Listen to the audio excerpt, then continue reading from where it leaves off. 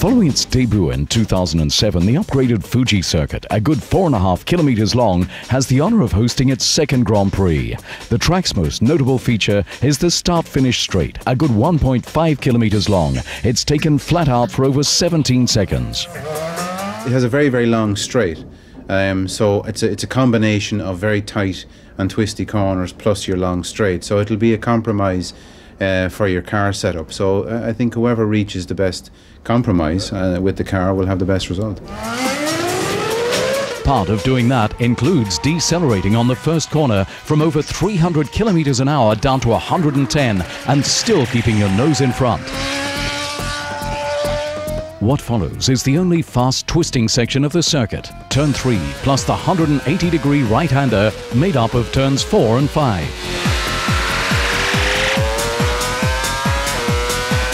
Very quick left-hander and right-hander with nearly flat through very long corner.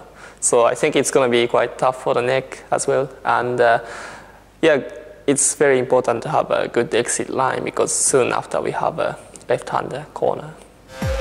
To be more precise, a tight hairpin, after which it's off at over 290 onto the 300R straight. The difficulty of this circuit thus lies in its variation.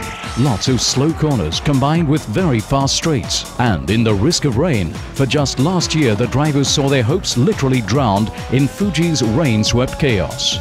I think when it rains, it puts something else into the into the race. You know, you have to manage um, your tyres differently. You have to look out for the puddles. And at this race, you couldn't see anything, so uh, it was a bit of a monopoly, you know, a bit of a, a gamble. And what's more, the surface on the tight uphill S-bends is very slippery, even in the dry. All in all, the drivers overcome a gradient of 36 meters on this track. At the end of the uphill section, the trick is to take the speed with you, despite the blind corners, onto the ultra-long straight. Otherwise, you're easy pickings for rival drivers. Fuji thus offers the ideal conditions for a thrilling 16th Formula One Grand Prix. Now to the current championship standings. Lewis Hamilton has given himself some breathing space with seven points between himself and Massa. The world title seems to be over for Raikkonen. The Silver Arrows have taken